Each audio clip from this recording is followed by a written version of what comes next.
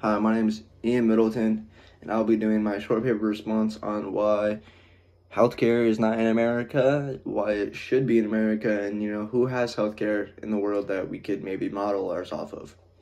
So segregation was a huge part of the country's foundation, and it is also a huge reason why we don't have healthcare in America as of right now.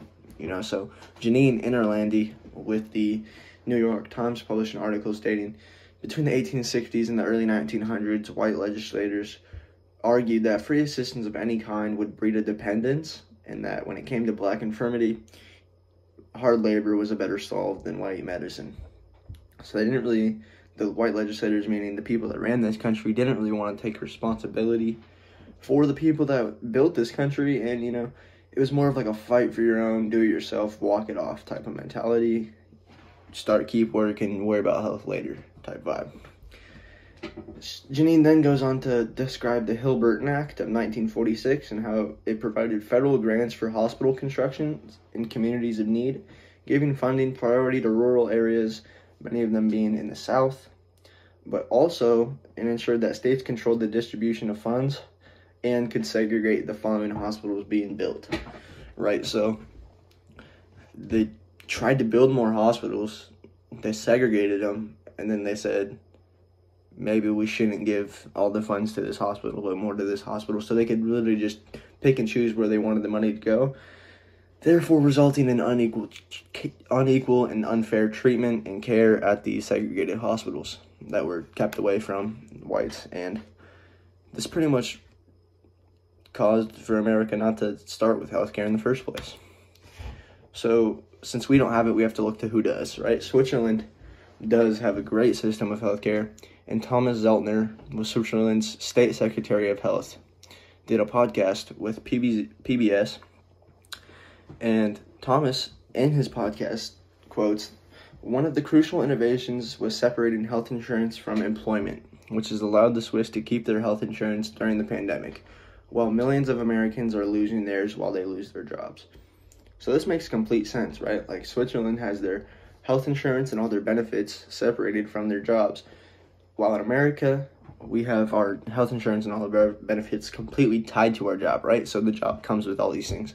So, like in a pandemic or a hard time like that, when we lose our jobs and when jobs are pretty sparse, the health insurance and everyone that's got health care and all these benefits is also going to be sparse.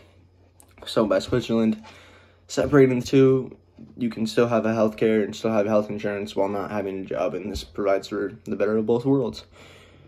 And then he goes on to talk about how there are roughly 60 private companies selling plans for healthcare in Switzerland, right?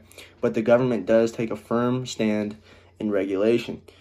It, it mandates basic coverage that all plans must include, and the government sets the prices for the medications and procedures like at the beginning of the year before anything even starts. So it's all under regulation, it's all mandated, and the companies really have no can't really like undercut you because there's a bottom line. All they can do is help you even more.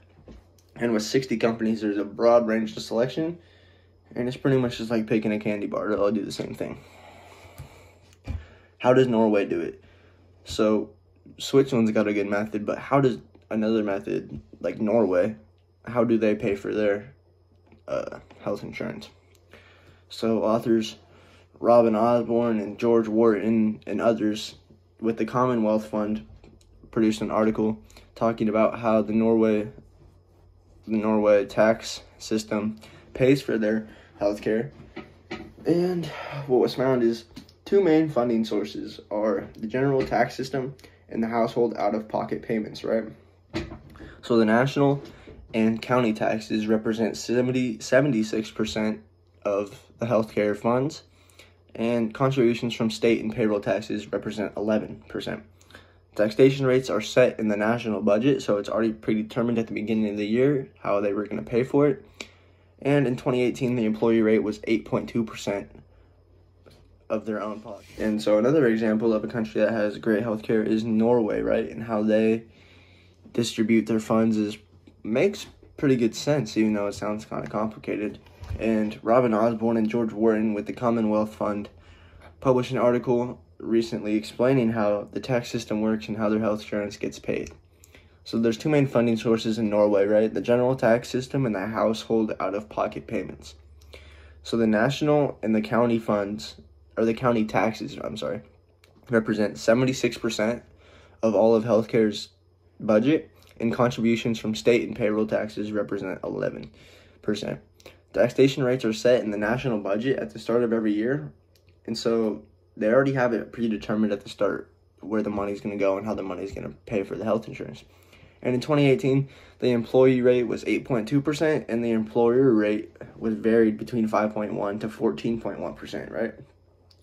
So all these percents add up to the entire budget of healthcare, and they can pretty much be recycled year after year because it all goes through the same system. And so they can keep their healthcare rolling for years and years and years. And the two main sources of income for these counties are 55% taxes on the residents of said county, and then they get 45% of their budget from block grants from the government. And then out of this 40, 55% of taxes and 45% of grants, 52% of all of that goes right back into healthcare and right back into social services to be recycled again for the next year. So they can keep their system going year after year while not entirely using all of the residents' money for their healthcare. And so, how bad is our problem in America? Why do we need healthcare so bad? So, the American Journal of Public Health published a survey representing 436,000 homeless people in our country.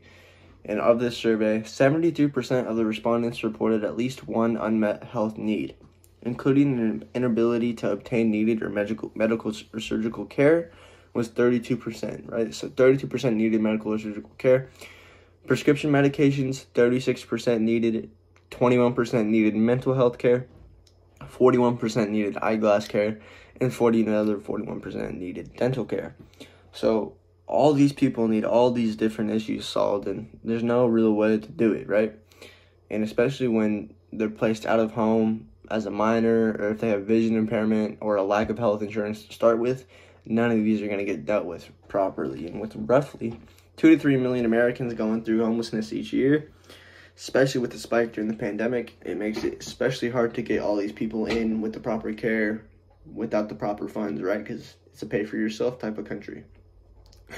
And especially when homelessness is on the edge, you, I mean, healthcare can get pushed to the side when they're struggling for water, food, or electricity or something like that. Like, healthcare can get pushed to the side pretty easily and delayed which can start an even worse downward spiral, right? The sick gets sicker and it keeps going on. So, how do we get our own healthcare in America? Stephanie Deutsch with the Georgetown University Journal of Health Science published an article proposing health insurance options, and one of her options was a single payer system, right? So the government would pay for the expenses while private companies would distribute the services, kind of like Switzerland does you'd have the companies with the government mandating mandating the bottom line care. One proposal suggested that national health insurance would cost American families an average of only 2% annual income, and employers would pay 7% of their payroll to the government, an amount less than the percentage they already have to pay to cover their employees now.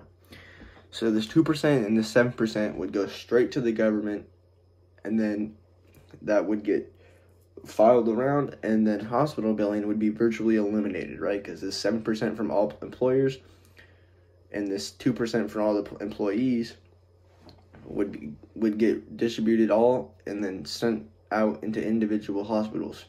So hospital billing would be virtually eliminated, and instead individual hospitals would receive a lump sum from the federal government each year to cover operating expenses so it'd already be predetermined and they just have to send them out for the budget of the year.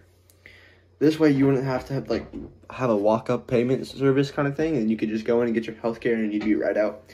And it'd just be a tax almost, a two percent tax levied. So with a homeless problem like ours in America and not really a healthcare system to solve it, we need to start looking to other countries and other systems to implement our own way because it is gonna have to happen eventually.